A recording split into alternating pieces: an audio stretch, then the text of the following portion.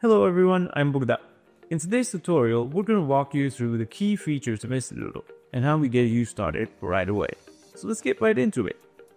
Now, the first thing that we notice when we log into Instadoodle is the dashboard. Before we start fully explaining the dashboard, I just want to show you the tutorial section, which we will be referring to a few times in this video. We can get to it either by clicking the tutorials tab or by scrolling down in our dashboard.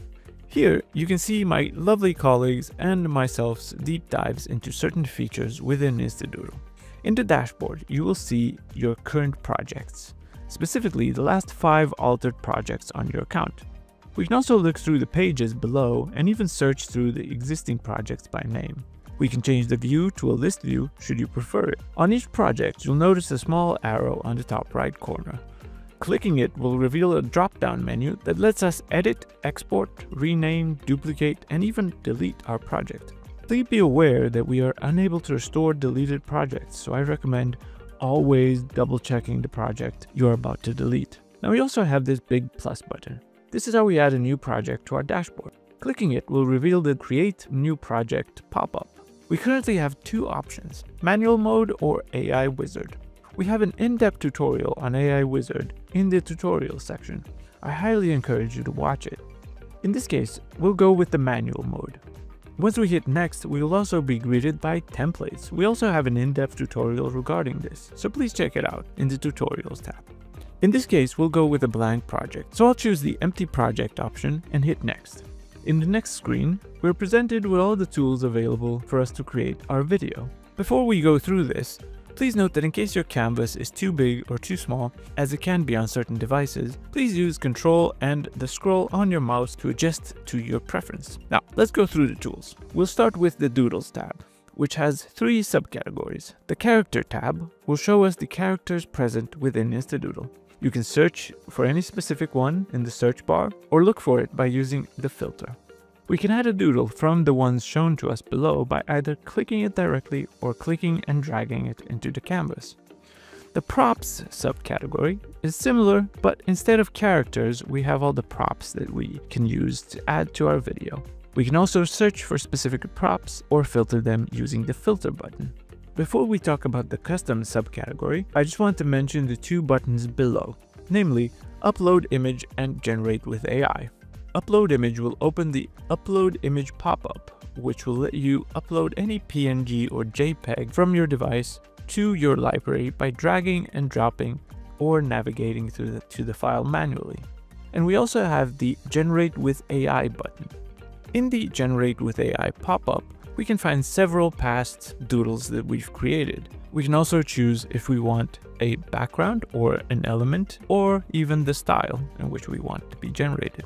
This also includes the color options, which we will have a in-depth tutorial regarding the color splash and its features very soon. We also have a tutorial on how to generate doodles using our AI.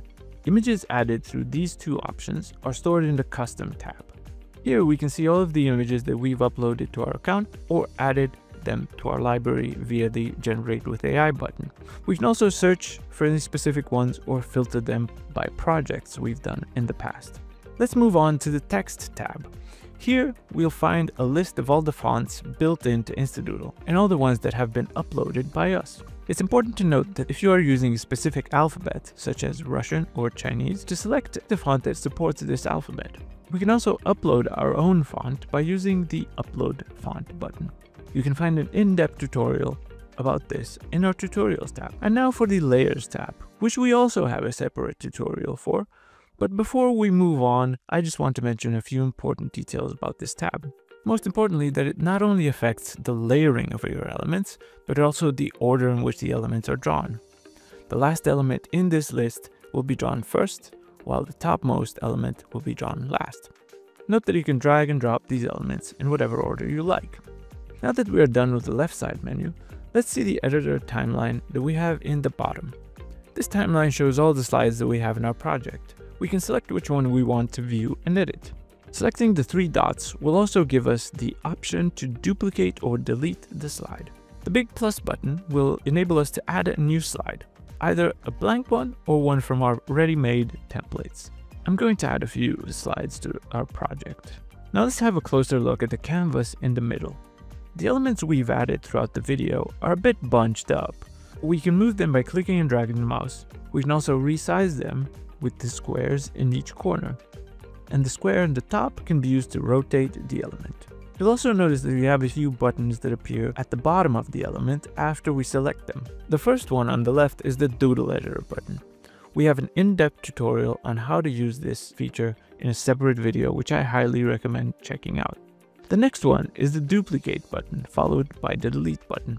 Clicking the three dots will give us a few more options like bringing it forward or backward which will change the layering or order of the element. We can also flip the element vertically or horizontally. We can also duplicate the element on all slides or copy it to paste on a different slide within the project. Note that these options may differ depending on the type of element that you have selected. Now let's have a look at the buttons located below the canvas. We have the all-important undo button, accompanied by his faithful sidekick, the redo button. We also have the option of turning snap align on and off, Having this option on will offer assistance when trying to, for example, get a doodle exactly in the center of your slide, while having this option off gives us more freedom to move the element as we wish. The play button will play a preview of your project so far, starting with the slide that you currently have selected, while the arrows left and right will switch to the previous or next slide. Further to the right, we'll see the option to zoom the canvas in and out, or reset the default view. We can now move on to right hand menu. Here, we'll notice the Properties tab. If we have no element selected, then we will only see the slide category, which we can expand. Here we can modify the slide transition, which we have an in-depth tutorial for in our tutorials tab. We can also double, triple, or so on, the overall drawing speed of the slide, as indicated by the slide duration. We can also automatically sync our slide with the voiceover that we have, and we can use the generate or add voiceover buttons to add a voiceover. An in-depth tutorial on syncing, adding voiceovers, and generating voiceovers can be found in our tutorials tab. Now, if we select our doodle, we can see another category that appears alongside the slide category, which will show us further editing options for the element that we currently have selected. These options may differ depending on the type of element that you've selected. Here we can modify the line weight, the line color of the element, also alter animation types. We have an in-depth tutorial on how to do this in our tutorials tab. We can also alter the animation speed of an element by using the slider or inputting the number of seconds we want the element to be drawn in. The end delay option will add a delay after the animation is finished, before switching over to the next doodle or slide. Note that these two options will be uneditable if we have the sync with voice option active. Selecting a text element will show us similar options. Let's go through the text specific ones. We can modify the text in the text input box, but we can also edit text formatting or alignment.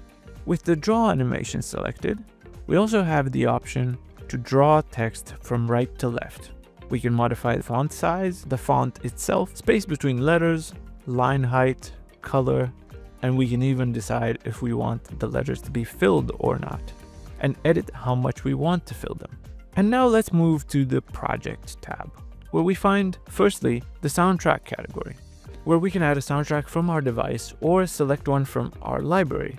More details regarding this can be found in the in-depth tutorial found in our Tutorials tab. We can also see the Hand category, where we can select whatever hand we want to use for our project or no hand at all. Lastly, let's have a look at the options we have on the top right. We can manually save our project by using the Save button, but please note that the project is saved regularly and automatically after alterations have been made.